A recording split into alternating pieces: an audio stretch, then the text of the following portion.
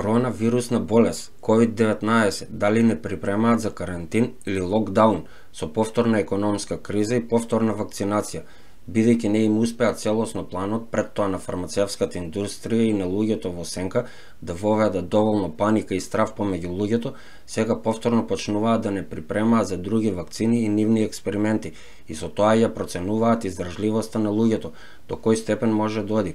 Од нивните болесни игри многу луѓе умреа, останаа без основни потреби за живот, ги дотераа луѓето до фаза на лудило, да бегаат едни од други, од страв да не се зарази некој друг од корона, ги направија децата да живеат во виртуална реалност, а пак возрастните да немаат контакт лично едни со други, туку само по телефон или на камера, преку интернет. Ова е тероризирање на луѓето од елитата и фармацевската индустрија.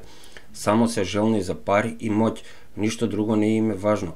Они се мислат дека се посебни, одбрани и надарени од Господ, да не водат нас како они сакаат. А сега да преминеме на темата како COVID-19 влијае на светот и новата загриженост за економијата во светот. Според Универзитетот Джонс Хопкинс, случаи на COVID-19 надминале 535,3 милиони.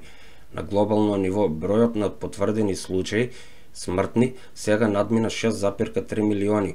Повеќе од 11,94 милиарди дози вакцинација се администратирани на глобално ниво. Властите во главниот град на Кина, Пекинг, се тркаат за да ја спречат појавата на COVID-19, проследена до 24 часовен локдаун, пренесува Reuters. Милиони во градот се соочуваат со задолжително тестирање, а илјадници се под целосни заклучувања. Повторната појава на инфекции со COVID предизвика нова загриженост за изгледите за втората по големина економија во светот – Соединетите Американски држави го укинаа условот луѓето што пристигнуваат по воздушен пат да бидат негативни за COVID-19. Одлуката следи по интензивно лобирање од страна на авиокомпаниите и туристичката индустрија. Северна Кореја во неделата пријави 40.060 нови случаи, кои покажале симптоми на треска и еден смртен случај во време на првата потврдена појава на COVID-19 во изолираната нација, соопшти државниот медиум КЦНА. COVID-19 влијае на различни луѓе на различни начини. Повеќето заразени луѓе ќе развијат блага до умерена болест и ќе закрепнат без хоспитализација. Најчести симптоми треска, кашлица, замор, губење на вкус или мирис, поредки симптоми, воспалено грло, главоболка, болки, диареа, осип на кожата или промена на бојата на прстите на рацете или нозете, црвени или иритирани очи. Извештај за ситуацијата на извор од СЗО објавено на 29 јуни 2022 година. Глобален преглед. Податоците заклучено со 26 јуни 2022 година на глобално ниво бројот на неделни случаи се зголемува трета последователна недела по трендот на опаѓање од последниот врв во март во 2022 година. Во споредба со предходната недела, бројот на нови неделни смртни случаи остана сличен на оној од предходната недела, со пријавени над 8.500 жртви на регионално ниво. Бројот на нови неделни случаи се зголеми во источниот медитерански регион за 47%, Европскиот регион за 33%, регионот Југоисточна Азија за 32% и регионот на Америка за 14%, додека се намали во Африканскиот регион на минус 39% и регионот на Западен Пацифик на минус 3%. Бројот на нови неделни смртни случаи се зголемува во регионот на Источен Медитеран.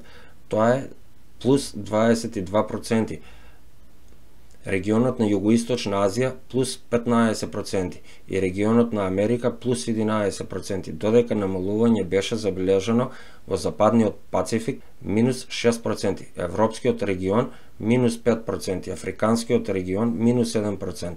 Од 26 јуни 2022 година на глобално ниво се пријавени над 541 милион потврдени случаи, над 6,3 милиони смртни случаи, Овие трендови треба да се толкуваат за предпазливост, бидејќи неколку земји прогресивно ги менуваат стратегиите за тестирање на COVID-19, што резултира со помал вкупен број на извршени тестови и следствено помал број на откриени случаи. Во Европа има 227 милиона 347.086 случаи потврдено. Во Америка има 162 милиона 418.958 случаи потврдено, на Западен Пацифик има 63 милиона 953.298 случаи потврдено, Југоисточна Азија 58 милиона 530.761 случаи потврдено. Источен Медитеран 21 милион 988.725 случаи потврдено. Африка 9 милиони 113.335 случаи. На глобално ниво, заклучно со 18 часот, по средноевропско време на 29 јуни 2022 година имало 543 милиона 352.927 потврдени случаи на COVID-19, вклучително и 6 милиона 331.059 смртни случаи, пријавени во Светската здравствена организација. Заклучно со 27 јуни 2022 година, администрирани се вкупно 11 милиарди 981 милион 689.000 и 168 дози на вакцина